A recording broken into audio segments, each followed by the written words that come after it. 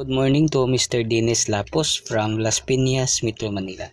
So ito na po yung CPU na order niyo. Ayan po. So, ayun to prove po sa inyo na itong CPU ay papadala namin. Check natin sir yung mga serial number po. Okay, serial number po ng CPU. Ayan po. CP434075-01. Okay. So serial number naman po ng kanyang power supply dito po.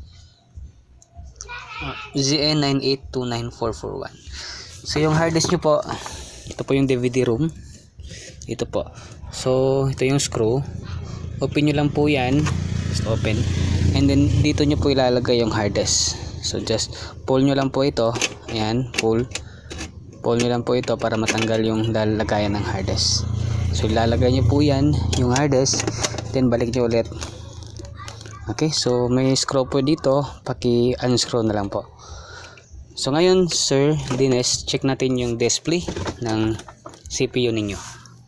Ayan po yung display. Ayan, so yung product name dito po.